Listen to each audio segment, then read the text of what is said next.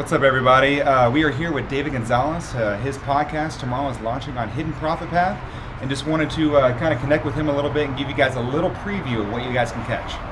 What's up, David? Hey, good to be here. so, uh, Tell everyone, you know, a little bit about right. you, your background, what you're talking about, what they're in store for. okay, so first of all, you, people might be wondering why we're outside in this kind of different setting. I think you usually do them in an office where We do, we do. we're celebrating the one year anniversary of my my one of my best friends jiu-jitsu club Mikhail Ab- Abdullah Ace Jiu-Jitsu Club.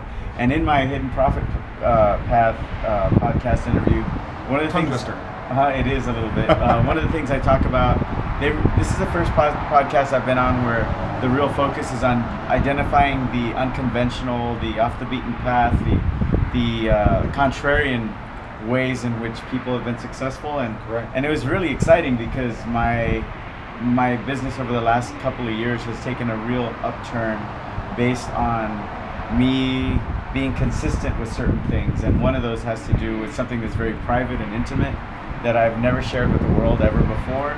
Whoa. Uh, it's let's just say it's got to do with an addiction, and I don't want to get too heavy or deep, but uh, it's it's it's you know it's something that's near and dear to my heart, and something that I've decided I decided in, in this in this podcast because it's been such a it's been it's opened up so much more to me.